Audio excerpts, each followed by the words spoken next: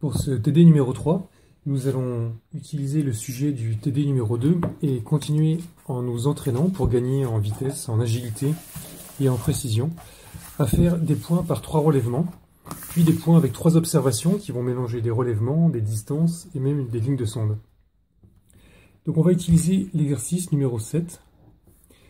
Et dans cet exercice, on nous demande de tracer les points avec des relèvements vrais. Donc tous les relèvements qui sont donnés sont des relèvements vrais. Ils ont déjà été corrigés avec la variation du compas magnétique ou la variation du compas gyroscopique.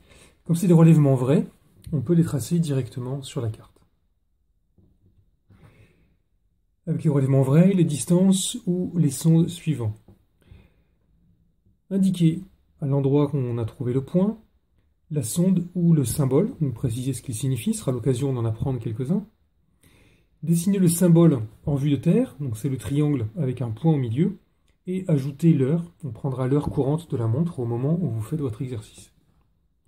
Enfin, écrire dans le journal de navigation l'heure, puis mesurer cette position en relèvement et distance depuis le premier amer. À chaque fois, on prendra le premier de la liste qui est donné pour écrire le relèvement et la distance dans le journal de navigation. Pour s'entraîner, on pourra aussi mesurer les coordonnées géographiques, latitude et longitude. Donc on le fera pour un point, latitude, longitude, mais pas pour tous. Quand on écrira dans le journal de navigation, ou bien on le met en latitude, longitude, ou bien on le met en relèvement distance. En général, on utilisera latitude, longitude lorsque cette position est recopiée sur l'écran du GPS.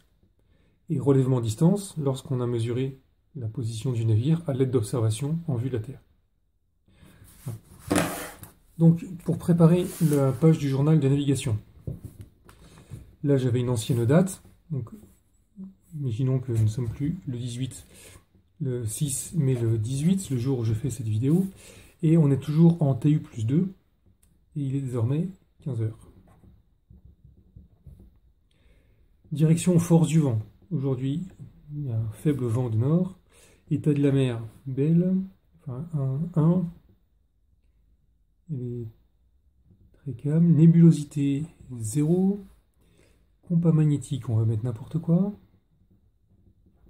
210, variation estimée, là aussi je mets n'importe quoi, moins 2, moins 2,5 degrés, etc. Si on ne met pas de nouvelle information, c'est que l'information est la même qu'avant. Ici j'aurais pu me contenter de laisser vide, etc. Alors ici on a un conflit, puisqu'on a déjà la position qui est indiquée. En général, on va faire une nouvelle ligne chaque fois qu'il y a une information qui a changé. Ici on imagine bien que si on avance, la position aussi a changé. Qu'importe on fera de la ligne suivante en dessous. Et on marquera en relèvement distance les positions. Ici, j'utilise un stylo qui est très épais pour pouvoir euh, bien lire sur la vidéo. Dans la réalité, on utilisera un stylo noir, un bic qui écrit fin, indélébile, parce que le journal de navigation, c'est un document juridique, c'est pas un brouillon. Et ce document juridique, il sert d'historique, donc c'est que des informations passées, has-been, qui serviront en cas de litige à retracer la trajectoire du navire, par exemple, pour savoir qui était en tort au moment d'une collision, etc. Donc on va commencer avec le premier point. Et on fera les numéros 1, 4, 6, 10, 13, 14 et 20. Voilà, les autres, c'est du bonus pour votre propre entraînement et vous avez la correction dans les pages manuscrites à la fin du polycopier, à la fin du TD. Donc pour le premier, on a le château d'eau de Plogoff, le grand phare de Saint et le phare de Armen. Alors on va le repérer sur la carte et tracer les relèvements. Plogoff, c'est une agglomération qui se trouve ici, sur la pointe du Raz, et on voit le symbole de son château d'eau ici. Donc, pour ce premier point, on va tracer un relèvement qui a été observé depuis le navire vers le château d'eau. Ce relèvement, c'est 42. 42, c'est entre le nord, 0, et l'est, 90. Donc, on va mettre notre flèche au nord-est, comme ceci. On va ensuite appuyer le bord de la règle sur le château d'eau, avec le crayon, la pointe sèche, mettre la règle du bon côté, vers la route ou le point relevé, et ensuite repérer le centre le plus au sud. Ici c'est le noir, je glisse la règle pour le mettre sur un méridien ou un parallèle. Là actuellement je suis sur un parallèle, et je lis entre 30 et 40, donc environ 34. Donc je vais devoir tourner dans le sens des aiguilles d'une montre pour augmenter jusqu'à trouver 42. Lorsque j'ai trouvé, je vérifie que j'ai toujours le bord de la règle qui est sur la mer, le petit rond qui est bien sur le parallèle, la graduation sur 42. Maintenant que j'y suis, je peux tracer la droite, le premier relèvement au 42. Pour les suivants, c'est le grand phare de 5 qu'on a observé au 320. 320, c'est entre l'ouest 270, le nord 360. Donc on va mettre notre flèche dans le cadran nord-ouest repérer le grand phare de Saint. Donc sur l'île de Saint, on a deux phares. Le plus grand, on a vu, est à l'ouest parce qu'il est marqué dans ses détails 49 mètres, alors que l'autre a marqué seulement 16 mètres. Donc je mets un crayon ou la pointe sèche sur le phare et j'oriente ma règle au nord-ouest. Le petit rond plus au sud, c'est le rouge. Donc je vais mettre le petit rond sur un méridien ou un parallèle. Pour l'instant, il est sur un parallèle. Et j'ajuste, je tourne-glisse ma règle pour la mettre exactement au 320. Donc je vérifie la graduation, le petit rond, et je trace la droite. Alors ici, on peut tracer quelques centimètres d'intersection de part et d'autre de la première droite. Inutile de tracer le trait en entier, ce sera autant à gommer pour la suite. Et enfin, le troisième amère, c'est le phare d'Armen au 299. Donc 299, c'est le cadran sud-ouest. Je place un crayon sur le phare d'Armen, le petit rond rouge, la flèche au sud au nord-ouest, oui, c'est bien nord-ouest, et je mesure 299, entre 290 et 300. J'y suis, et je peux tracer maintenant l'intersection. Alors l'intersection des trois relèvements se trouve bien ici, ça fait un point ou un tout petit triangle, c'est donc un point qui est cohérent on voit vite s'il est cohérent, parce que si on s'est trompé d'amère, ou qu'on a fait une erreur de mesure, d'identification, le triangle d'intersection risque d'être gigantesque. Dans ce cas-là, il faut refaire le point, vérifier chacun des amères qu'on croyait avoir bien identifiés, éventuellement les laisser tomber pour en prendre d'autres. Donc, comme le point est correct au centre du triangle sur le point d'intersection, je dessine un point, et autour de ce point, le symbole d'un point observé et je mets l'heure. On va mettre 15h10. Maintenant qu'on a observé ce point, on va mesurer son relèvement et sa distance par rapport au premier mer, c'était le château d'eau de Plogoff.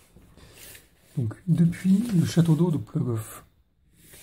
Cette fois, on va noter la position d'un journal de navigation, donc on part de la référence, le château d'eau, pardon c'est celui-ci, et on tourne la flèche vers le navire dont on souhaite donner la position dans le journal de navigation. Alors ici, mon point d'intersection est exactement sur le relèvement. Je pourrais me contenter de prendre le relèvement et d'ajouter au retranché 180, ce qui va faire 222. Je peux aussi le remesurer. Je mets le petit rond sur l'intersection, ou sur un méridien, ou sur un parallèle. Là, c'est exactement sur l'intersection, c'est une coïncidence. Et je peux lire 222, comme c'est l'intersection, je peux lire sur méridien ou parallèle c'est bien 222. Et pour la distance, je mesure avec le compas à pointe sèche entre la position du navire et le château d'eau l'écartement. Et je vais mesurer cet écartement en restant approximativement à la même longitude dans l'échelle des latitudes.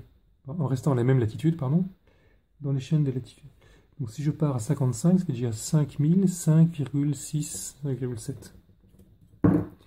5, 6, 5, 7. Alors on va noter ça dans le journal de navigation.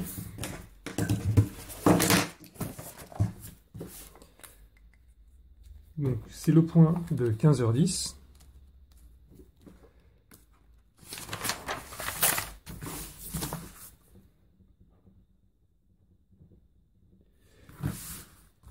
Le relèvement vrai.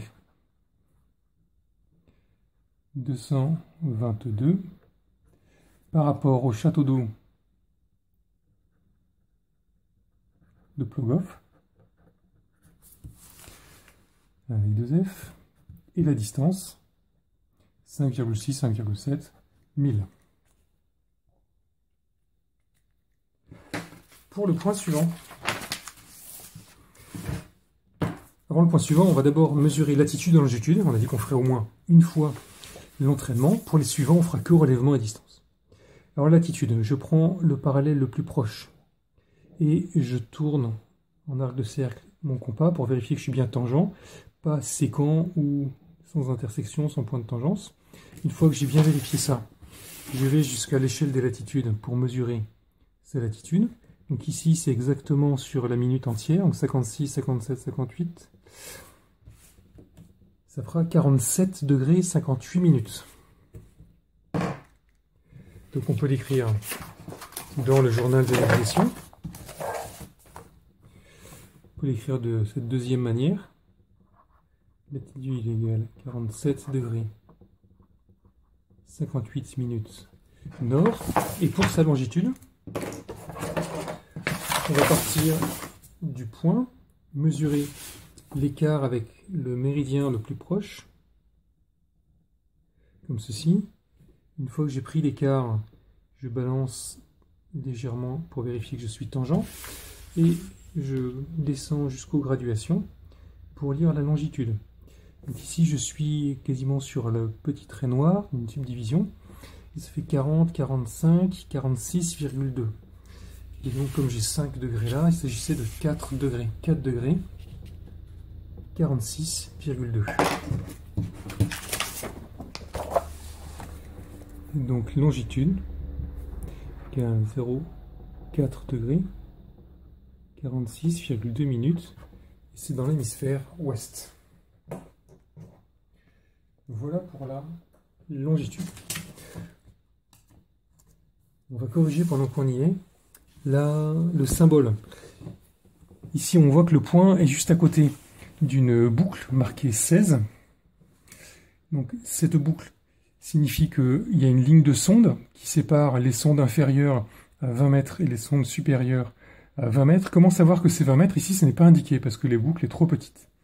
On voit déjà qu'il y a la couleur bleue, probablement du bleu clair, puisqu'on aurait eu une transition d'abord bleu clair puis bleu foncé, comme le long de la côte et d'autre part parce que c'est marqué 16. Donc 16, on voit que c'est des profondeurs entre 10 et 20, là où on a du bleu clair. Donc lorsque les lignes de sonde sont trop courtes, les boucles sont trop courtes, on ne marque pas la profondeur, mais on peut le déduire facilement en comparant les sondes à l'extérieur et à l'intérieur, et les différentes profondeurs auxquelles les lignes de sonde sont tracées sur le reste de la carte. En plus du 16, on voit à côté un R pour un rocky. c'est un fond rocheux. Rock, en l'occurrence, il ne s'agit pas de pierre, mais d'un plateau de, pierre. Juste à côté, c'est un symbole qui ne concerne pas cette euh, sonde ici, mais qui concerne un secteur angulaire, un des feux du phare de la vieille. Et quand on est à cette position, on verra la nuit par temps clair le feu de couleur G comme green, donc vert, et il porte à 11 000 lorsqu'il est allumé la nuit par temps clair. Donc là, c'est un hasard qui se trouve ici. Il aurait pu être plus près ou plus loin. On va maintenant regarder le point suivant. On va se servir du point numéro 4. Le phare de Morgat au 308, les rochers des Verres au 28 et le sémaphore du Cap de la Chèvre. Alors on va regarder où sont ces différents amers. Il s'agit de la baie de Douarnenez. Donc la ville de Morgat est ici, c'est une station balnéaire. Et le phare de Morgat se trouve là où est l'étoile, son symbole. Le deuxième amer, c'est le rocher des Verres. Alors ici, il y a tout le plateau des Verres et le rocher se trouve là où il y a le nom. On voit que c'est un plateau rocheux qui est tellement haut qu'il y a une partie de l'estran qui est dessinée en gris vert. Et le haut du sommet, le haut du rocher qui n'est jamais submergé, qui du coup est représenté par un point noir. Donc c'est le deuxième amer, le rocher d'Everest, et le troisième, c'est le sémaphore du cap de la Chèvre, ici. Alors le premier, le phare de Morgat au 308. 308, c'est entre l'ouest, 270, et le nord, 360. Donc on met notre flèche au nord-ouest. On appuie un crayon ou la pointe sèche sur la position du phare, au centre de l'étoile. Et on glisse, on vérifie que la flèche est bien au nord-ouest. On glisse la, le point le plus au sud, donc le petit rond rouge ici, sur un méridien ou un parallèle. Là, j'ai pris un méridien et je mesure actuellement 302. Donc je vais devoir tourner, glisser jusqu'à garder le petit rond sur le méridien et obtenir 308. Donc là j'ai bien le petit rond, la graduation, le bord de la règle sur le phare de Morgat. Comme je regarde dans cette direction, que je vais tracer à rebrousse-poil. 308 et comme ceci. Pour l'instant je trace un long trait parce que je ne sais pas exactement où je suis. C'est la deuxième et la troisième euh, des droites que l'on pourra tracer de quelques centimètres autour de l'intersection avec la première. Le deuxième amer, le rocher des Verres au 28 ce rocher. 28, c'est entre nord 0, l'est 90. Donc je mets ma flèche au nord-est. J'appuie un crayon sur le rocher de Verres. Ma flèche étant tournée au nord-est, je regarde le petit rond le plus au sud. C'est le noir. Je le mets sur un méridien ici. Et je cherche 28. Actuellement, je suis à 40, 30, 28. Alors il peut être intéressant, quand on est près du nord ou du sud, de travailler avec les parallèles. Ça évite de tourner très très longtemps le long des Donc avec le parallèle ici, je lis maintenant sur la ligne horizontale. Je suis là, près de 28, et j'ajuste le petit rond, la graduation, le bord de la règle. Donc si je regarde le rocher d'Everest et que je le vois devant moi ici, c'est que je suis quelque part là. Donc je trace 1 ou 2 cm de part et d'autre de la première droite ma première position sera probablement ici.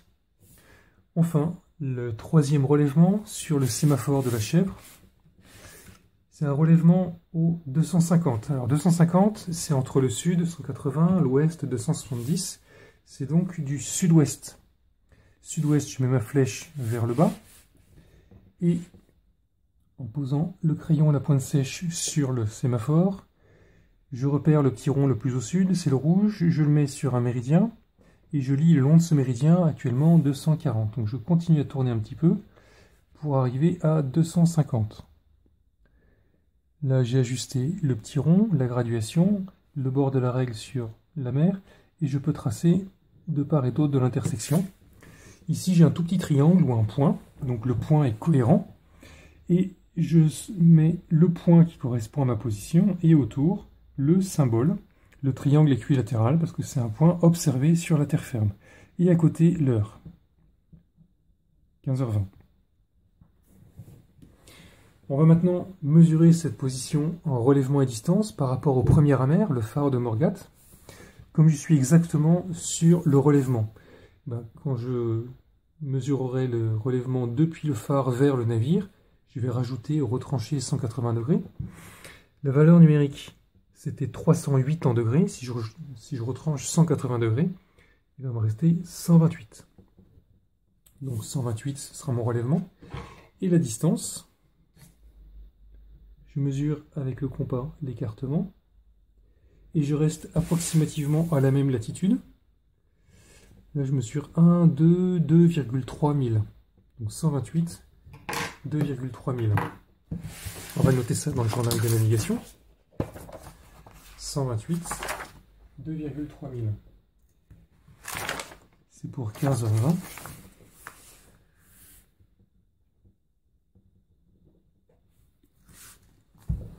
Le relèvement vrai égale 128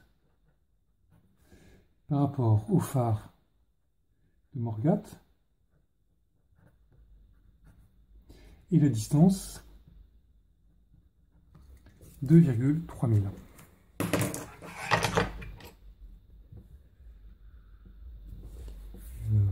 bien 2,3. Concernant les informations disponibles, ici, je vois que le point est sur une ligne de sonde qui sépare les profondeurs en bleu clair, entre 10 et 20, et les profondeurs en blanc, au-delà de 20 mètres. C'est la ligne de sonde de 20 mètres. Alors, ligne de sonde, on peut dire aussi isobat.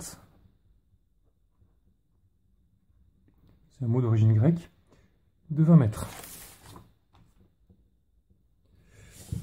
Voilà, pas d'autres informations à cette position.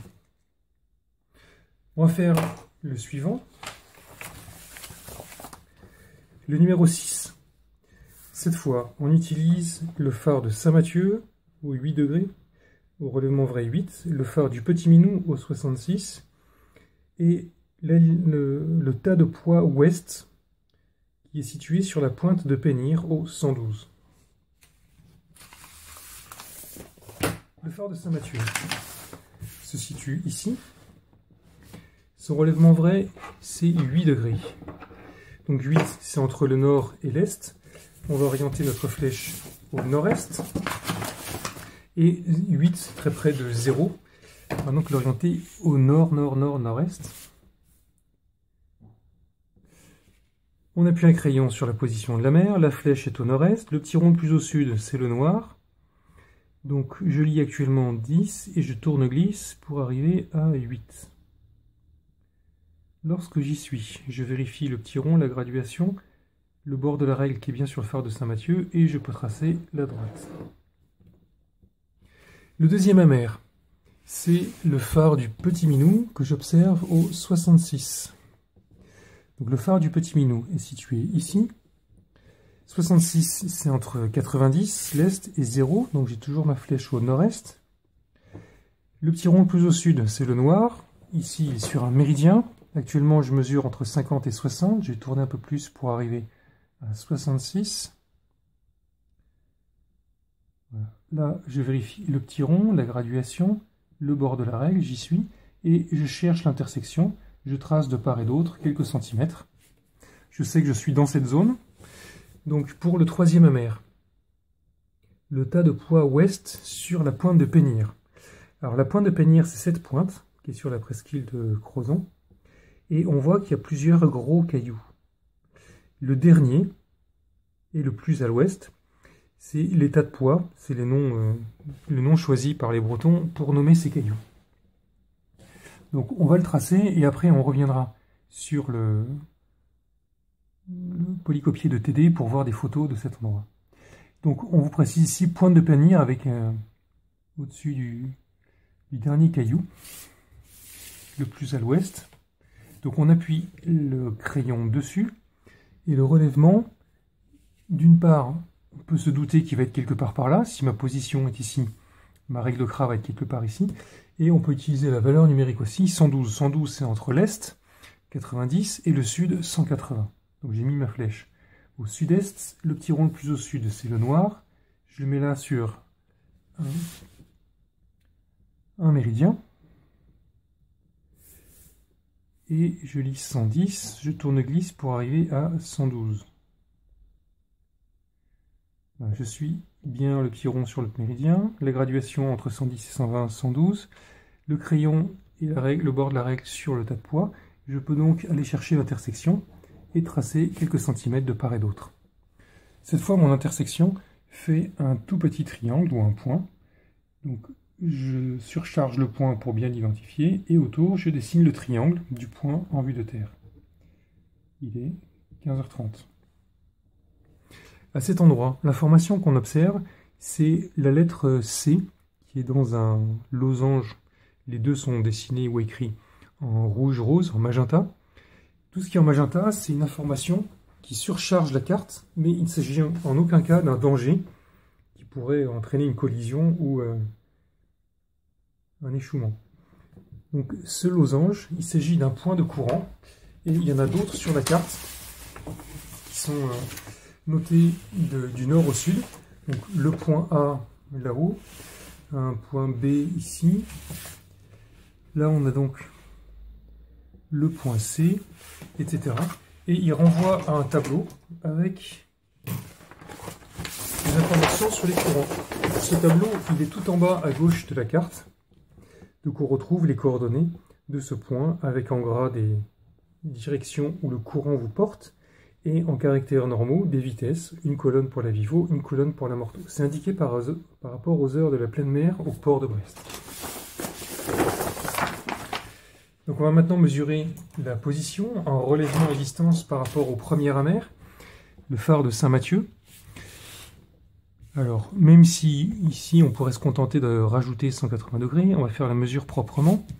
Lorsque je suis sur le phare et que j'observe la position du navire, je pars du phare avec la flèche vers le navire cette fois, et je me mets bien aligné vers la position, et ensuite je glisse ma règle jusqu'à mettre le petit rond le plus au sud, le rouge, sur un méridien ou un parallèle. Là il s'agit d'un parallèle, et je mesure. Je mesure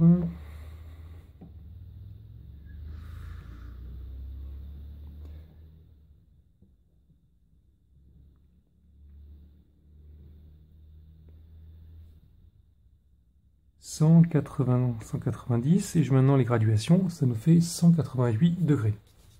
Pour la distance entre le point d'intersection et le phare de Saint-Mathieu, je mesure l'écartement et je vais chercher dans l'échelle des latitudes, approximativement à la même latitude, combien ça fait 2 minutes. Ici j'en vois 1, 2, 2,6. Donc 188, 2,6. On va noter cette position dans le journal de navigation pour 15h30.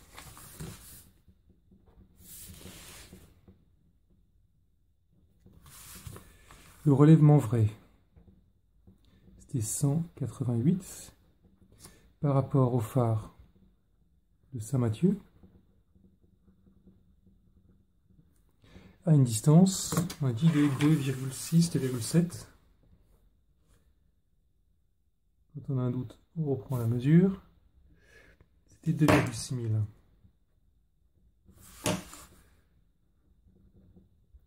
On a vu que c'est du point de courant.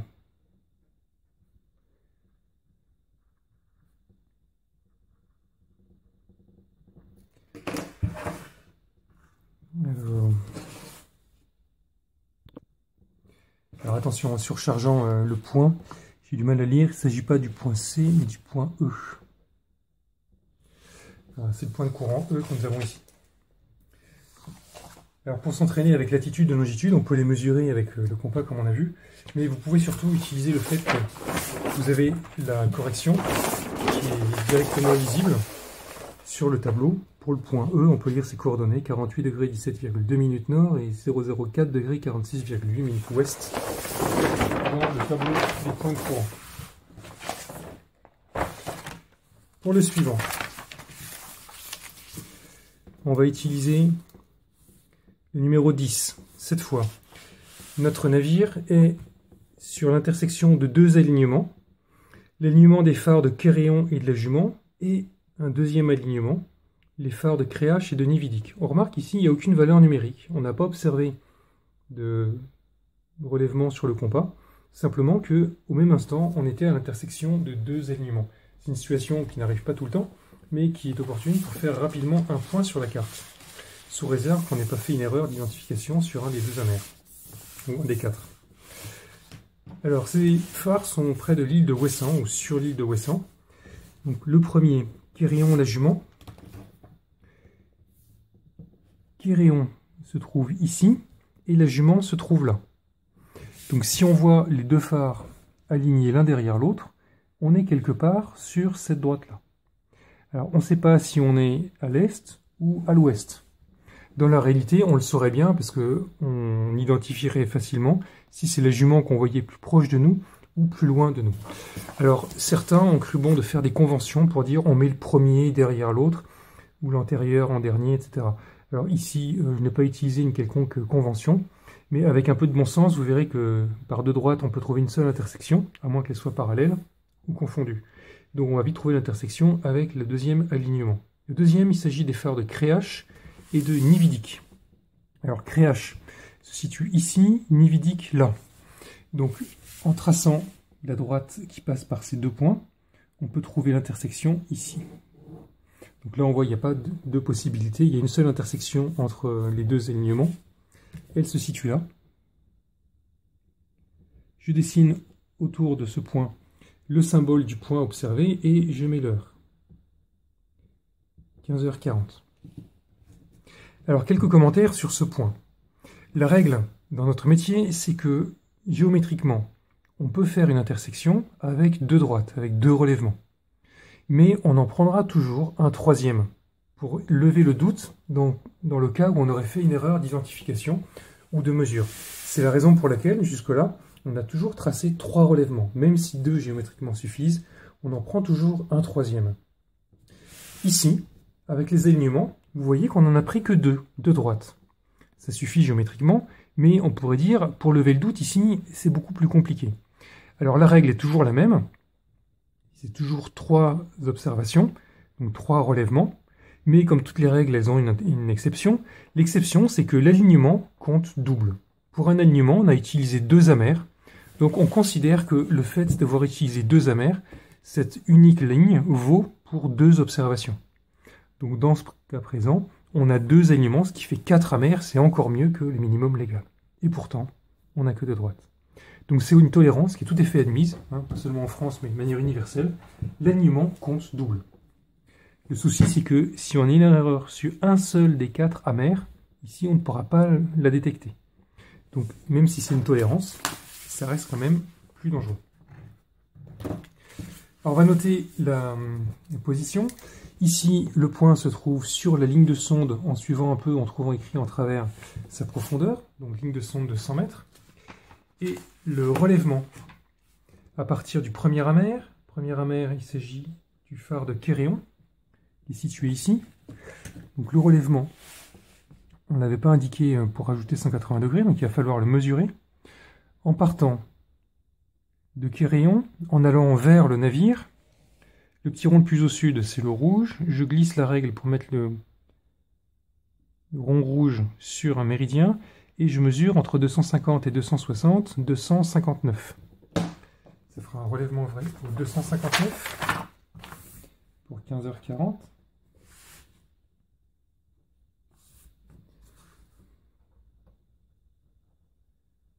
259 par rapport au phare de Kéréon.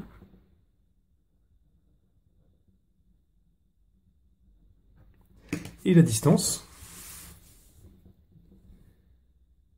On prend l'écartement avec le compas à pointe sèche. Et on va ensuite, à la même latitude, dans l'échelle des latitudes, mesurer le nombre de milles. Alors si je pars de 25, Ici, je compte déjà 5, 6, 7, 7,4 milles.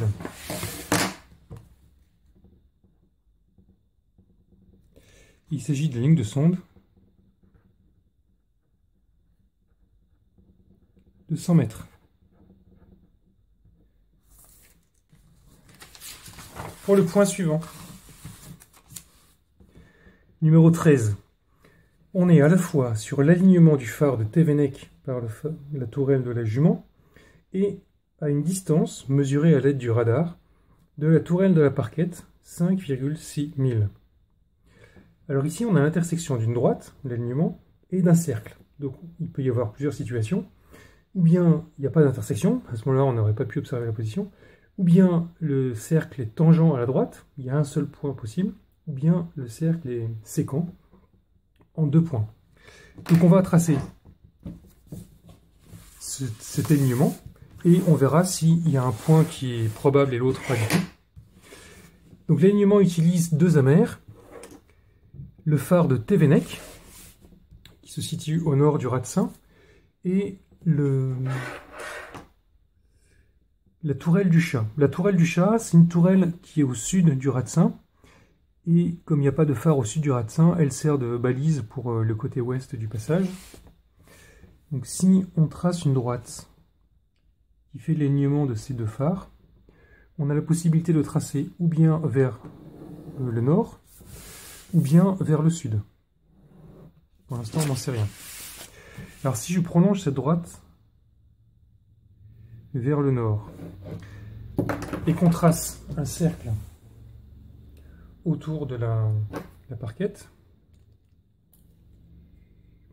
Le cercle doit faire un rayon de 5,6 000. C'est une distance qu'on a mesurée à l'aide du compas et qu'on va tracer à l'aide du, du, radar, pardon, qu'on va tracer à l'aide du compas traceur sur la carte. Donc dans l'échelle des latitudes, j'écarte mon compas traceur de 5,6 000 donc si je, suis... je me mets autour de la parquette. La parquette est située ici, donc je reste à peu près à la même latitude, et je compte 5,6 000. De 10 à 15, ça fait déjà 5,6, c'est le troisième petit trait noir. Donc, je vais dessiner un cercle qui est centré sur la tourelle de la parquette et chercher l'intersection avec la droite. Alors j'ai une intersection ici et une autre intersection plus au sud, là. Alors quand on voit ces deux intersections, il y en a une qui est probable, l'autre qui n'est pas du tout. Alors dans la réalité, on pourrait facilement lever le doute parce qu'on verrait très bien si on est en pleine mer ou si on est tout près de la côte. Deuxième raison, la position qui est près de la côte, elle est quasiment dans les cailloux. Donc à moins d'avoir un petit navire, il est fort probable qu'on n'est pas ici au mouillage où on le saurait. Donc on va garder pour la suite de l'exercice cette position-là. Et on a le droit d'écrire le symbole du point observé, puisque on a ici un alignement qui compte pour deux, et une troisième observation, la ligne, le cercle du radar. Donc on a le droit de mettre ce symbole, le point de notre position, et ensuite le triangle du symbole. L'heure enfin, 15h50.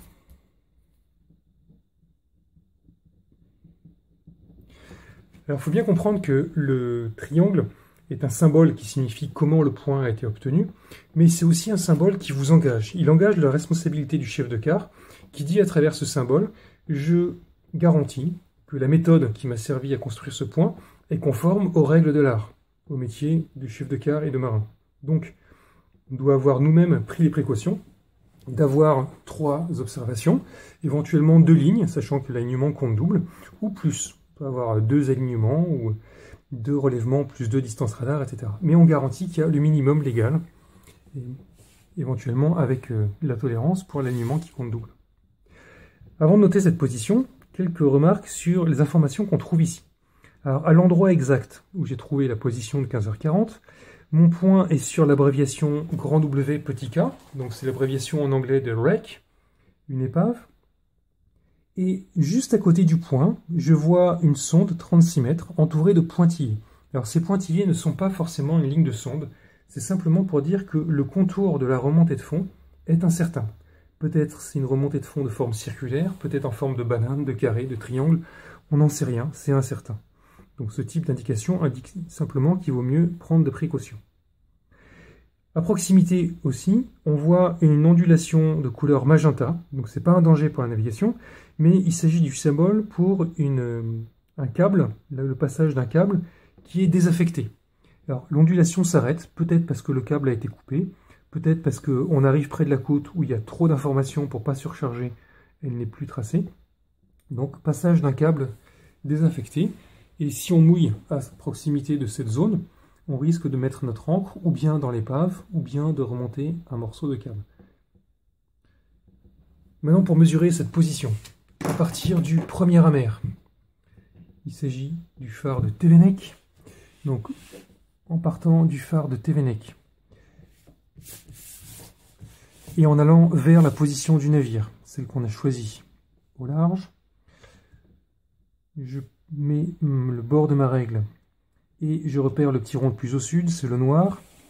Je peux le glisser jusqu'à un parallèle et regardez dans les graduations, je suis entre 10 et 20, précisément à 14. Donc le relèvement vrai, ça fera 14. On va noter dans le journal de navigation pour 15h50.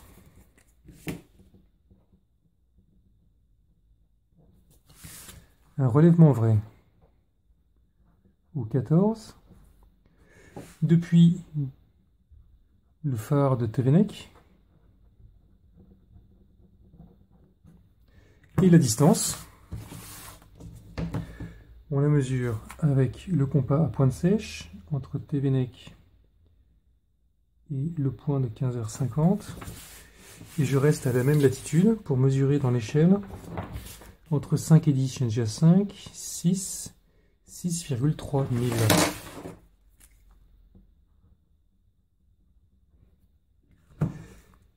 Vu qu'il s'agit d'une épave,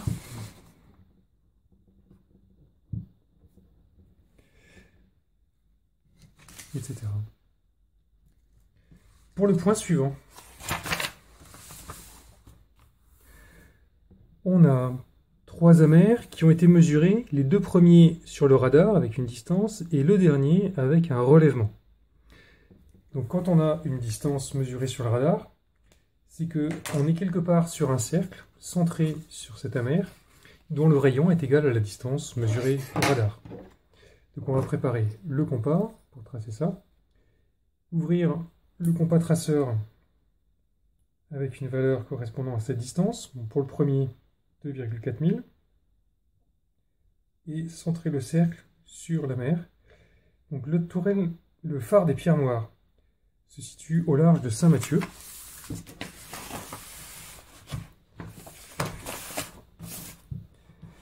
Le phare des pierres noires est ici. Donc, approximativement à la latitude du phare des pierres noires. Je vais mesurer 2,4 000. 1, 2, 2,4 ici. Et autour de ce phare, je dessine un cercle de 2,4 000.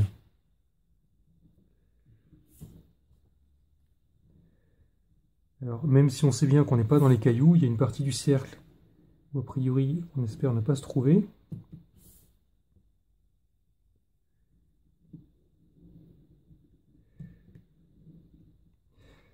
Alors le deuxième cercle, la deuxième distance, c'est sur la tourelle de la parquette 9,3 000.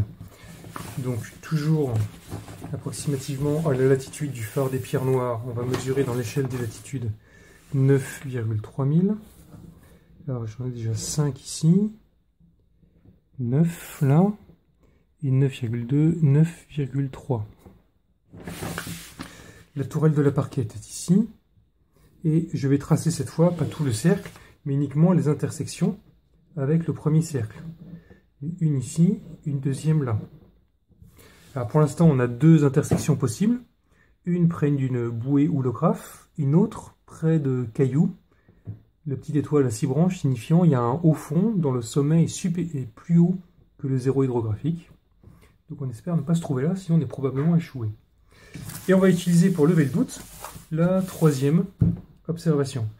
Il s'agit d'un relèvement sur le phare de Saint-Mathieu au 73,5.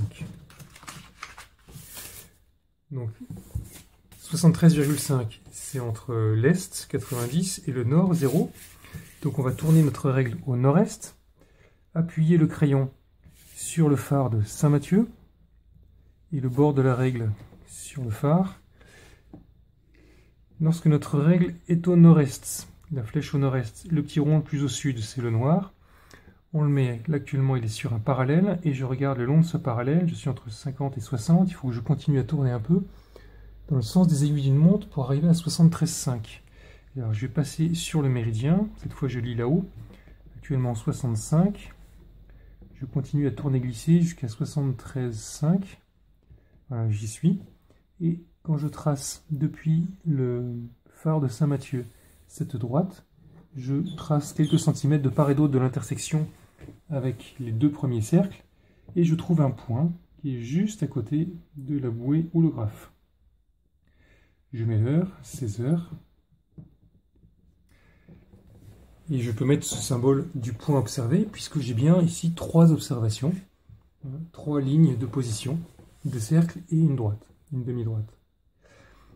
Alors un commentaire sur cette bouée, Ici, cette bouée a un symbole euh, très simple. C'est une bouée qui est probablement de la même forme que le, symbole, une bouée ronde, une demi-sphère. Et on nous explique qu'en réalité, il y en a deux. Y en dessous, c'est la couleur dont la bouée est peinte. Donc yellow, c'est expliqué en anglais, puisque c'est une carte aux normes internationales. Et on voit qu'elle a un petit panache rouge, ça signifie qu'elle est équipée d'un feu. Donc les caractéristiques de ce feu sont abrégées avec des mots anglais. Donc grand F, petit l, c'est l'abréviation de flash, le mot anglais pour désigner un feu à éclat en français. Entre parenthèses 5, il y a donc 5 éclats. Y de couleur jaune, avec une période de 20 secondes. Alors attention, ici, il y a 5 éclats, ils peuvent très bien avoir des durées égales ou différentes. Pour le savoir exactement, il faudra aller chercher dans le livre des feux, on n'a pas le détail sur la carte. Donc ici, on est arrivé près de la bouée holographe. On va prendre le relèvement en partant du premier amer, donc le phare des pierres noires, et en allant vers la position de 16 heures. Donc le phare de pierre noire ici, le point de 16 heures là. On met la flèche dans le sens de la mer vers le navire.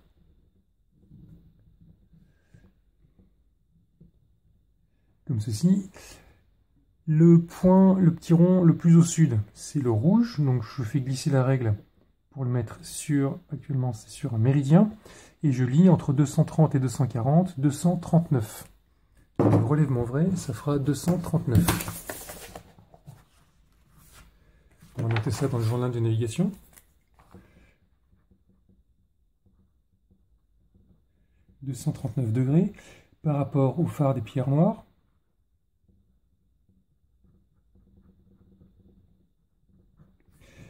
S'agit du point de 16 heures. Et on va noter la distance qu'on mesure avec le compas à pointe sèche.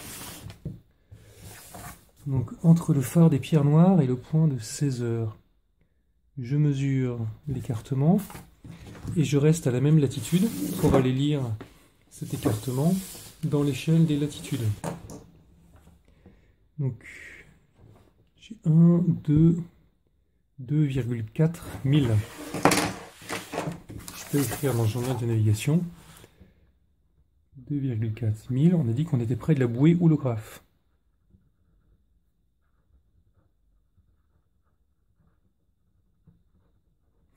comme son nom l'indique, le houlographe, c'est une bouée avec un enregistreur de houle. Donc qui va, autrefois c'était tracé sur un graphique. Aujourd'hui c'est un enregistrement numérique. Parfois quand il est près de la côte, c'est même retransmis en temps réel ou par vacation vers une antenne et un ordinateur à terre. Et ça permet d'avoir des statistiques de passage de la houle en direction, en hauteur, du coup en période, etc. Le point suivant, il sera le dernier pour ce TD, c'est le numéro 20. Alors dans le point numéro 20, on va utiliser une première distance sur la pointe de l'Hervili, une ligne de sonde et une deuxième distance mesurée sur la côte nord de Pamar. C'est une longue plage entre le plateau de Pénors et la pointe de la Torche. Alors on va montrer les amers en question avant de les tracer. Alors la pointe de l'Hervili, c'est une pointe qui est au sud de la carte, près d'Audierne. Donc on voit la ville d'Audierne ici, et la pointe de l'Hervili se situe un peu à l'ouest d'Audierne, et on voit un phare dessus. Alors, on a mesuré une distance sur cette pointe, mais cette distance est mesurée sur l'écran du radar. Alors, il faut imaginer que le radar, c'est une image vue de dessus qui est créée en mesurant la distance depuis le navire. Notre navire est par ici. Et notre navire envoie une onde électromagnétique, qui voyage à peu près à la vitesse de la lumière dans l'atmosphère. Elle réfléchit par tous les obstacles qu'elle va rencontrer, parfois absorbée, et en revenant, elle arrive dans notre antenne et on va mesurer la durée entre l'émission et la réception. Connaissant la vitesse, on peut en déduire la distance qui sépare l'antenne de l'obstacle, et on va pouvoir balayer l'horizon en faisant tourner l'antenne, et ainsi créer point par point le contour de la côte ou l'image radar en balayant l'horizon. Donc l'image radar est comparable à une image de la carte vue de dessus et le navire est au centre du radar. Sur les radars modernes, on peut excentrer la position du navire pour voir loin devant et plus près derrière. Il faut bien comprendre que la distance a été mesurée non pas en voyant le symbole d'un phare ou une information marquée au dierne, mais simplement en identifiant les amers radars, la forme de la côte, par comparaison entre l'image radar et la carte. Donc, même si la pointe de l'Hervili, ici, c'est un hasard, correspond à la position du phare, de manière générale, on peut très bien avoir une pointe, par exemple le cap de la Chèvre. Si on sait que notre navire a mesuré une distance au radar sur le, cap de la Chèvre, on plantera notre compas traceur, le centre du cercle, de ce côté-là. Si on sait qu'on a mesuré au radar le même cap de la Chèvre, mais que notre navire est à l'extérieur de la baie de Douarnenez, bah, il faudra aller chercher le centre du cercle ici, et en aucun cas sur le sémaphore. Donc ici, on aura un premier cercle centré sur la pointe de l'Hervili, avec un rayon de 10,3 000. Donc en restant à, à peu près à la même latitude que la pointe de l'Hervigny, j'écarte mon compas de 10,3 000. Donc entre la graduation 55 et la graduation 5, j'ai 10 minutes, 10 000. J'ai 10,3, donc je dois monter encore un peu. Je en mi-chemin entre les, première et la deuxième petite graduation. Donc maintenant que j'ai 10,3, je vais pouvoir tracer un cercle centré sur la pointe de l'Hervigny, donc la pointe qui a pu donner l'écho radar, pas forcément exactement l'étoile, mais à côté, et tracer le cercle. Alors on espère que notre bateau n'est pas échoué sur Terre, donc c'est pas la peine de tracer le cercle sur la partie terrestre, ça serait autant à, gommer. Voilà, le cercle à 10,3 000, centré sur la pointe de l'Hervigny. Alors, on va tracer le deuxième cercle, parce que c'est une forme mathématiquement très régulière, et c'est plus facile de trouver l'intersection de deux cercles que de travailler avec une ligne de sonde qui est beaucoup plus accidentée. Le deuxième cercle, la deuxième distance, est mesurée, on nous dit, sur la côte située au nord de Pamar. Alors Pamar, c'est le cap qui est là. Et au nord de Pamar, on voit effectivement que jusqu'à Audierne, il y a une très longue plage. Alors comment on sait que c'est une plage? D'une part parce que vous avez un S pour Sand dans la partie de l'estran. L'estran, c'est la partie qui est balayée par les marées montantes et descendantes. Donc il s'agit d'une longue plage de sable. Et ici, on voit que le symbole change. La ligne de sonde à zéro, là, qui était une ligne euh, à peu près courbe, là devient une ligne accidentée. C'est un symbole pour signifier que là, il s'agit d'un littoral rocheux. Pas forcément des falaises, mais un amas rocheux. Et vous avez en plus le nom plateau de Penors on vous dit dans l'énoncé que la distance a été mesurée sur la longue plage située entre le plateau de Penors et la pointe de la torche. La pointe de la torche est notée en toutes lettres ici, on voit bien la forme de la pointe qui est notée là. Alors il se trouve que cette longue plage s'appelle aussi la plage de la torche, et elle est connue des véliplanchistes parce qu'il y a régulièrement des compétitions de planche à voile ou de surf. Donc la distance a été mesurée quelque part sur cette plage. Alors la raison dans l'exercice, c'est simplement que quand j'ai mesuré cette distance, le cercle était tangent à toute la plage, donc on pourra très bien planter son compas en haut ou en bas de la plage. La question qui va se poser maintenant est de savoir où on va planter le compas. Est-ce qu'on plante sur la ligne de sonde 0 ou sur le trait noir qui sépare l'estran en gris vert de la partie terrestre, le jaune? Parce qu'il faut imaginer que la côte ici est assez basse, on voit que les lignes de sonde sont très écartées. Et si on dessinait, vu de profil, ce qui se passe, quand vous avez la mer et une côte qui est très basse, comme ceci, ben, on ne sait pas bien si votre radar, quand il envoie son onde, va réfléchir, l'onde va se réfléchir quelque part sur les dunes dans les terres, ou bien au bord de la plage, là où on a les, vagues qui déferlent, ou bien un peu plus haut, parce qu'il y a peut-être un mouvement de terrain sur la plage ou sur la dune. Donc quand on a une côte très basse comme ceci, qu'on a identifié parce que les lignes de sonde sont très écartées, il faudrait être beaucoup plus méfiant. Par exemple, imaginons que les cercles que l'on trouve soient comme ceci, et puis euh, la troisième ligne de position comme ça. Si on sait que cette ligne de sonde, pardon, euh, ce cercle était tracé sur une plage, donc avec une grosse incertitude, bah, au lieu de mettre le, le point au centre du triangle, on le mettra plus près des intersections des deux autres lignes qui semblaient beaucoup plus précises. Donc on ne mettra pas le point ici dans le triangle, mais là. Donc on ne va pas faire un calcul de probabilité de barycentre, hein, ça se fait à l'œil, mais voilà une manière de prendre en compte le fait qu'il y a une incertitude sur une des lignes de position. Donc on va tracer ce cercle. Pour ça, on va écarter le compas avec une distance de 11,4 000 en restant approximativement à la latitude de cette plage. Alors 11,4 000. On va se mettre entre le 50 et le 60 et on va rajouter 1,4 000. Voilà les 11,4 000. Et maintenant, je trace le cercle en plantant le centre du cercle n'importe où le long de cette plage. Alors je vais me mettre arbitrairement à la limite entre l'estran et la partie terrestre. Et je trace dans la partie maritime l'intersection. Alors l'intersection, elle est ici avec le cercle. Il y a une deuxième intersection par là, mais dans la partie terrestre, donc elle n'a aucun intérêt. On espère que notre navire est toujours en mer. Et autour de cette intersection, on va maintenant chercher la troisième ligne de position. Donc la ligne de position, hein, c'est un mot que j'utilise depuis quelques instants.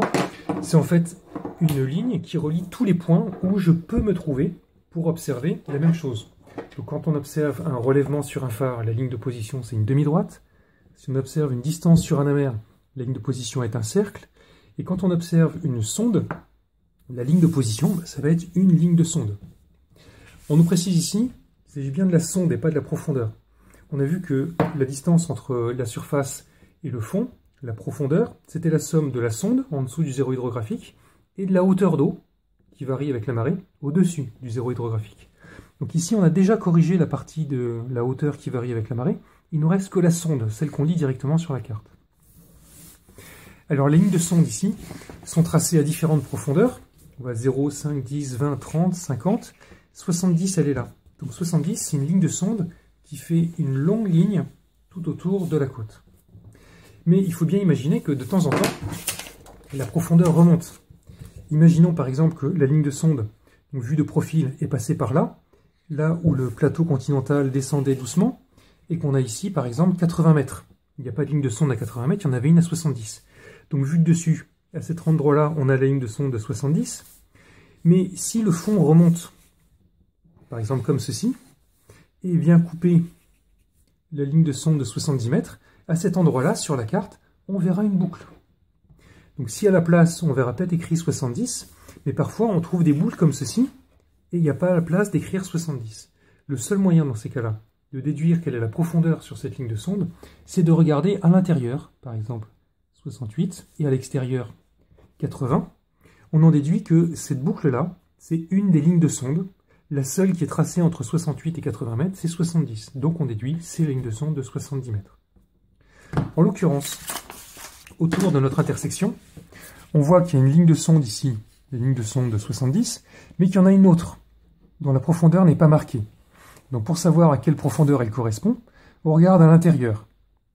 À l'intérieur, la sonde marquée c'est 65, à l'extérieur 73. La seule qui est marquée entre les deux, qui est dessinée sur la carte, c'est bien 70. Donc cette boucle-là, fermée, c'est une remontée de fond qui croise la, profonde, la sonde 70 mètres. Donc l'intersection de nos deux cercles est bien sur cette ligne de sonde. On peut donc conclure la position observée ici et bien à l'intersection, on va noter 16h10. Je peux mettre le symbole triangulaire avec la base équilatérale du point observé, parce que j'ai bien trois lignes de position, donc deux cercles et une ligne de sonde. Et enfin, un commentaire sur le 65. On voit ici que la sonde qui a été écrite sur cette remontée de fond n'est pas au centre. Parce qu'encore une fois, l'information qu'on a présentée privilégie la sécurité. Donc on préfère vous indiquer la sonde minimum au sommet de la remontée de fond. Il se trouve que cette remontée de fond, elle a son sommet ici, et pas du tout au centre, vu de dessus. Donc ça, c'est une règle qui vaudra partout. On voit ici qu'il y a une remontée de fond avec deux têtes, donc on a indiqué deux fois 65 mètres, etc. Donc on a trouvé la position de 16h10, et l'information ici, c'était une ligne de son de 70, c'était un des, une des informations mesurées. Donc on va pouvoir noter dans le journal de navigation la ligne de sonde de 70.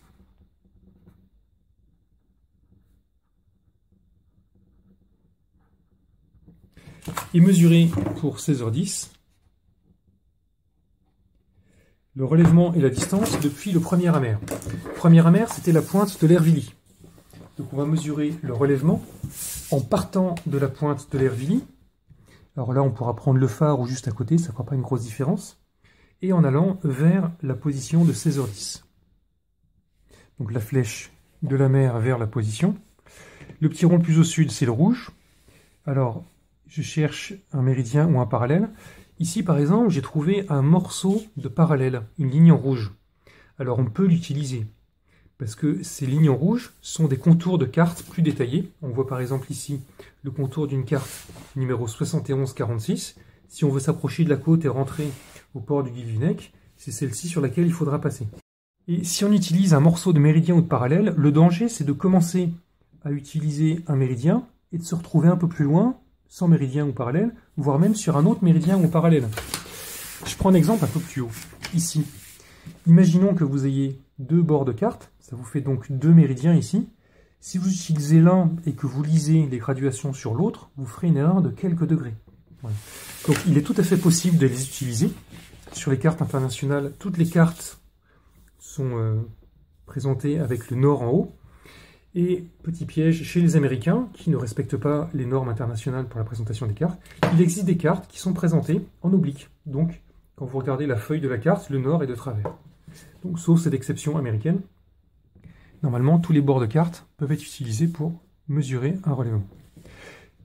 Donc, pour finir cette mesure, depuis la pointe de l'Hervili vers la position de 16h10, je mets le petit rond ici sur un morceau de parallèle et je lis le long du même parallèle qui n'est pas coupé, il n'y a pas de piège ici. Entre 200 et 190, ça nous fait 195. Donc le relèvement vrai, 195.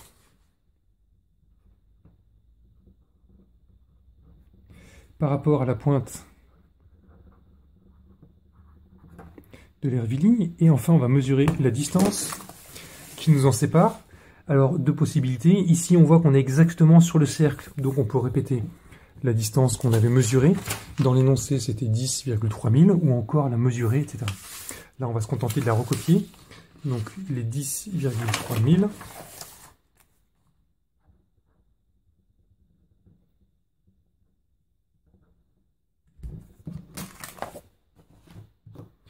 Voilà, donc sur ce dernier point, dernier commentaire, Ici, on peut avoir quelques hésitations quand on n'a pas euh, fait le quart et mesuré soi-même la distance.